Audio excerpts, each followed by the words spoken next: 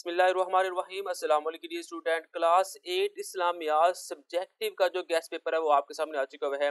ये eight class के लिए सब्जेक्टिव गैस पेपर जिसके अंदर मुख्त सवाल है, जो पेपर में बेहद आने के चांसेस होते हैं। ये आपके सामने हम लेकर आए हैं एट क्लास इस्लामियात का सब्जेक्टिव। तो वीडियो स्टार्ट करने से पहले, आप में से कोई दोस्त इस चैनल के ऊपर नए हैं तो इस चैनल को सब्सक्राइब कर ले बेल आइकन के ऊपर क्लिक करें और इस वीडियो को लाइक लाजमी करें। तो क्वेश्चन नंबर वन है जी, इस्लाम की चार फ़र्ज़ इबादत कौन सी है?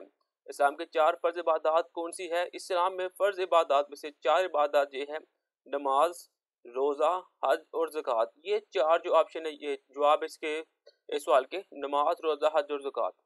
इस्लाम में इबादत का तस्वर क्या है? वजाहत फरमाएँ। हर वो फेल जिसके अंजाम देने से अल्लाह ताला राज़ी हो और हजूर अक्रम ख़ातबुलनबीन की सुन्नत पूरी हो, इबादत कहलाता है। ये इसका जवाब है बेटा। नेक्स्ट जी, रोज़े से हासिल होने वाली कोई से पाँच आपने फ़ायदे लिखने हैं। रोज़े से दर्द झैल फ़ायदे हासिल होते हैं। रोज़े से इंसान सब्र सीखता है। रोज़े से इंसान हमदर्दी पैदा होती है। रोज़े से जब्त नफ्स की सलाहियत बढ़ती है। रोज़ा नफ्स की ताबियादारी से रोकता है। रोज़ा कानून की पाबंदी सिखाता है। ये इसके पाँच जो पॉइंट आप लोगों ने लिखने हैं। ऐसे जी, तबलीग इस्लाम के तीन बुनियादी सूल कौन से हैं? तबलीग इस्लाम के जो तीन बुनियादी सूल हैं असूल नंबर वन है हमत असूल नंबर टू उमदा नसीहत असूल नंबर थ्री है उमदा तरीका बहस। सवाल है अगला आप ख़ातबुलनबीन ने मुख्त बादशाहों के पास किस मकसद के लिए खाते भेजे थे? जवाब है लोग अमूमन अपने हुक्मरानों का दीन बासामनी कबूल कर लेते हैं। फतूत का मकसद सिर्फ़ तब, मकसद तबलीग इस्लाम था ताकि बादशाहों के इस्लाम कबूल करने से इस्लाम की नशर शाज ज़्यादा से ज़्यादा हो सके। फतूत का मकसद इस्लाम की तबलीग थी। अगला सवाल जी, इस्लामी माशरे में मसावत के क्याम के लिए क्या इकदाम किए जा सकते हैं? ऐसे कवानीन बनाए जाए जो तलीमत इस्लाम के अहन मुताबिक हो। तमाम लोगों को मेहनत से काम करने की तरगीब दी जाए ताकि हलाल रोजी का असूल मुमकिन हो। उम्र से ज़क़़त सदाकत के करबरा कर गुरबा में तकसीम किया जाए। सच्चे और ईमानदार ताजर की अजमत के बारे में कोई एक हदीस लिखनी है आपने? हज़रत मोहम्मद रसूलुल्लाह खातबुलनबीन का इरशाद कि सच्चा और अमानतदार ताजर क़यामत के दिन अम्बिया शुहदा और सदीकीन के साथ होगा। अगला सवाल है, इस्लामी तलीमत के मुताबिक तजारत के अदाब लिखे। तो तजारत हलाल अशिया की होनी चाहिए। झूठ नहीं बोलना चाहिए, धोखा नहीं देना चाहिए। कब्जे से पहले तजारत मना है। ज़ातुलमयात चीज़ों की तजारत मना है।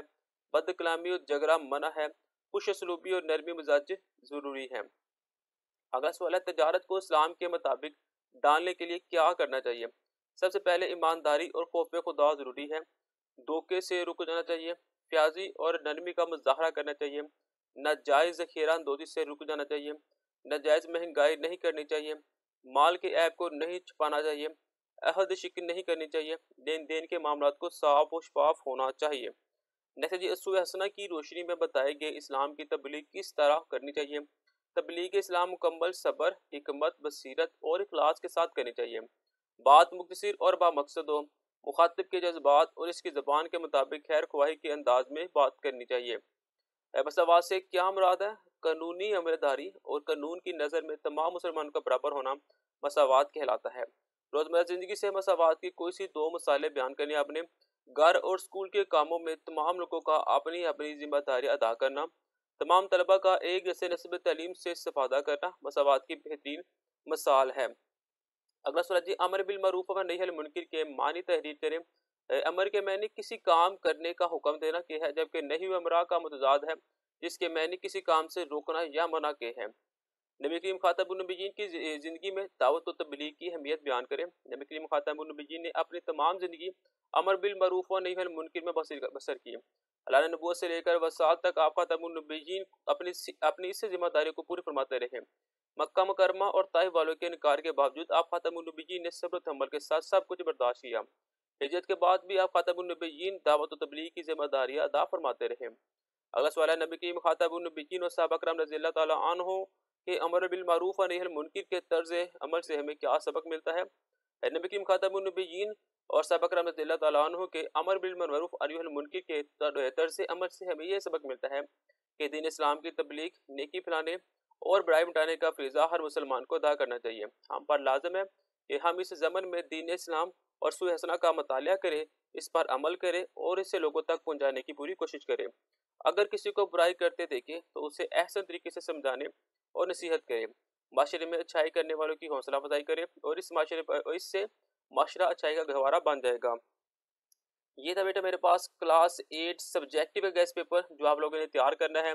जो आपका पेपर होगा वो इसी गैस पेपर में से बनकर रहेगा। ये अहम सवाल आता है, जो पेपर में आने के बेहद चांसेस है। आप लोगों ने इनकी स्क्रीनशॉट लेनी है और आप लोगों ने इसे तैयार कर लेना है। इनके सवाल को एक कापी के ऊपर लिख लेना है और फिर इनके जवाब आपने तैयार करने हैं।